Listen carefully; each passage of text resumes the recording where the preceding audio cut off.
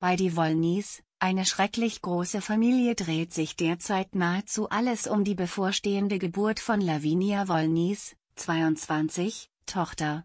Und ausgerechnet in dieser Situation scheint die junge Frau auf sich allein gestellt. Lavinia Wollny, Babyaufregung bei den Wollnys.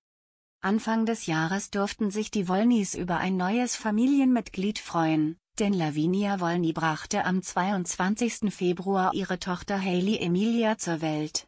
Die Schwangerschaft, von der die 22-Jährige erst im sechsten Monat erfahren hatte, sowie die bevorstehende Geburt spielen entsprechend eine große Rolle in der neuen Staffel von Die Wollnys, eine schrecklich große Familie, die am 10. August auf RTL 2 angelaufen ist. Aus Angst vor einer natürlichen Geburt entschied sich Lavinia Wolny für einen geplanten Kaiserschnitt, und der stand in der neuesten Folge, 7. September, nun bevor.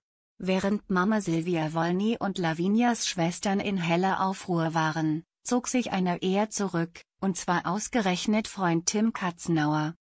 Tim Katzenauer wollte nicht mit in den Kreissaal. Aus Sorge um seine Nerven entschied sich der werdende Vater nämlich, nicht bei der Geburt seiner Tochter dabei zu sein und stattdessen lieber Silvia Wolny mit in den Kreissaal zu schicken. Schön wäre es, wenn Lavinia nachher nicht alleine daliegt. Auf die paar Minuten, die ich das Kind später sehe, kommt es auch nicht an. Hauptsache Lavinia hat jemanden an der Seite. Rechtfertigte sich Lavinias Verlobter. Eine Entscheidung, die er aber nur kurze Zeit später schon wieder bereute, und seiner Liebsten schließlich doch im Kreissaal zur Seite stand. Im Anschluss wurde er von seinen Gefühlen überwältigt, ich kann das gar nicht beschreiben, wie glücklich ich gerade bin. Jetzt bin ich doch froh, dass ich mit in den OP gegangen bin. Ich habe den ersten Schrei gehört nach ein paar Sekunden und da war Game Over, erklärte der frisch gebackene Papa mit Tränen in den Augen. Wie schön.